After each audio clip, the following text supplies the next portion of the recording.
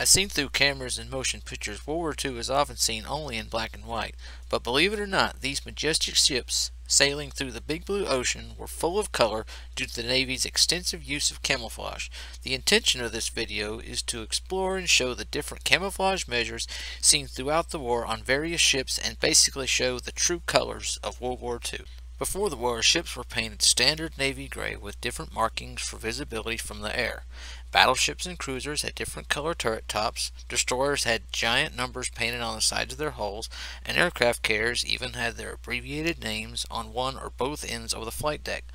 Later, on Saratoga, a black stripe was painted on her funnel to tell her apart from her sister Lexington, and Yorktown had a big Y painted on her funnel to tell her apart from Enterprise.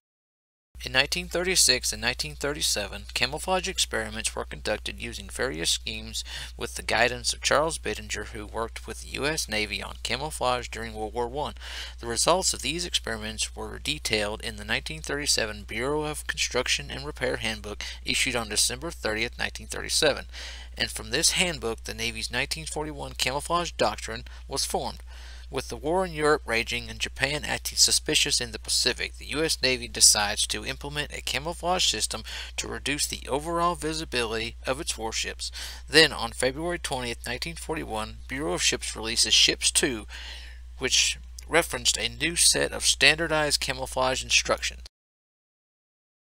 Ship camouflage means painting a ship for the purpose of producing effects of low visibility and of deception in course and range estimation. This video is only meant to show and explain the many different camouflage measures seen during World War II. Some ships depicted were repainted throughout the war in different measures depending on their location. The USS Enterprise alone was painted in five different measures throughout her career. Measure 1. Paint all vertical surfaces such as the sides of the hull, sides of superstructure, stacks, lower masts, etc. dark gray 5D. All vertical surfaces above the top of the stack shall be painted light gray 5L. Measure 2. Paint all vertical surfaces above deck edge such as sides of deckhouses, superstructure, stacks, masts, and pole masts light gray 5L. Paint the sides of the hull with three bands, the upper band light gray 5L, the middle band ocean gray 5O, and the lower band dark gray 5D.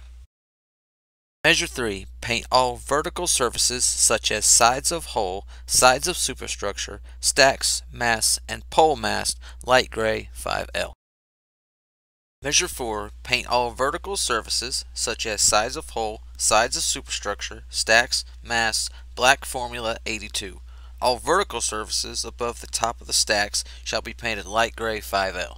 Measure 5. A painted false bow wave in combination of measures 1, 2, or 3 to give the impression of high speed at all times. Measures 6, 7, and 8 were designed to make ships resemble other ships by using paint alone, but no ship is known to have been painted in any of these measures except for one ship in 1943 using measure 8. Measure 8. Paint a New Orleans class cruiser to resemble a destroyer. Measure 9. Black system for submarines. Paint entire submarine black, Formula 82, including all parts visible from the air. In September 1941, Bureau of Ships releases Revision 1 of Ships 2, which redefined ship camouflage to mean painting a ship for the purpose of low visibility and of deception in course and range estimation. Low visibility is secured by reduction of contrast with the background. Course estimation is rendered difficult by using dark colors, which make shadows less conspicuous, or by a pattern of confusing spots. With this revision, measures 1, 2, 3, 4, 5, 6, 7, and 8 are rendered obsolete and creates new measures 11, 12, 13, and 14. Measure 11. All vertical surfaces from boot topping to top of superstructure masses, pole masts, yards, slender upperworks, above level of top superstructure masses Sea Blue 5S. Horizontal surfaces dark blue 20B. Measure 12, vertical surfaces from boot topping to level of main deck or highest shear line, continuous for full length on all vessels except carriers. On carriers, from waterline to level of hangar deck, Sea Blue 5S. Vertical surfaces above main deck to level of the top of the highest superstructure masses, Ocean Gray 50. Pole mast, yards, slender upperworks, above level of top superstructure masses Haze Gray 5H. Horizontal surfaces, dark blue 20B. Measure 12 modified, same as measure 12 but with irregular patches or splotches added to break up a ship's profile and cause confusion. Between November 4th and December 13, 1941, the Atlantic Fleet replaced the hull color Sea Blue 5S with Navy Blue 5N. Measure 13 vertical surfaces from boot topping to top of superstructure masses, pole masts, yards, slender upperworks, above level of top superstructure masses, haze gray 5H horizontal surfaces, deck blue 20B. Measure 14, vertical surfaces from boot topping to top of superstructure masses, ocean gray 50. Pole masts, yards, slender upperworks, above level of top superstructure masses, haze gray 5H. Horizontal surfaces, deck blue 20B. In June 1942, Bureau of Ships releases Revision 2 of Ships 2 with new measures that focus on two general purposes, the reduction of visibility and course or range deception. Measure 10, Paint entire submarine above the waterline Ocean Gray 50, including all parts visible from the air.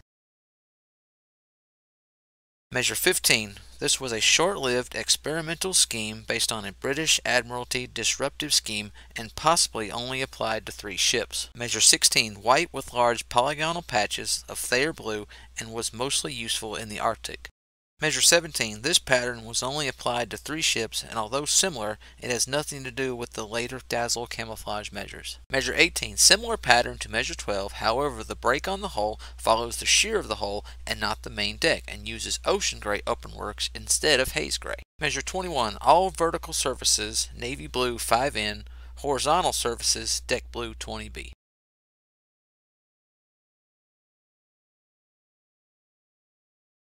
Measure 22. Paint the hull to the height of the main deck edge at the lowest point, navy blue 5N.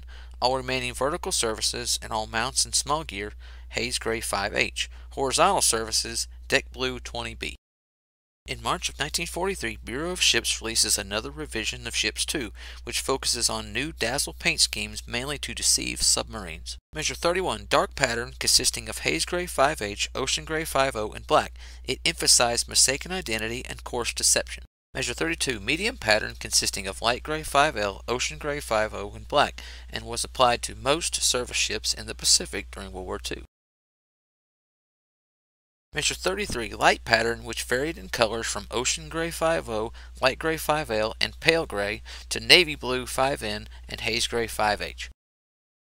In January 1945, Bureau of Ships revised the paint colors due to a shortage of blue pigments, thus eliminating the blue shades and creating five new colors. In February 1945, the Pacific Fleet's main threat was kamikaze, and all ships were ordered to be repainted in revised measures 12, 21, or 22. Please note, we don't actually know which ships were painted in these schemes, so the following images are for visual references only, and also my best guess. Measure 12 revised. Apply a horizontal band of number 7 navy gray for the entire length of the hull from the boot topping to the height of the main deck at the lowest point. On carriers to the height of the hangar deck. Above this level apply number 17 ocean gray to vertical surfaces including superstructure stacks and masts. Horizontal surfaces deck gray. Measure 21 revised. Apply number 7 navy gray to all surfaces. Horizontal surfaces deck gray. Measure 22 revised. Apply a horizontal band of navy blue or navy gray if blue is not available to the hull for its entire length and extending from the boot topping to the height of the main deck at its lowest point. On carriers to the level of the hangar deck. Apply haze gray to all vertical surfaces above that level. Horizontal surfaces deck gray.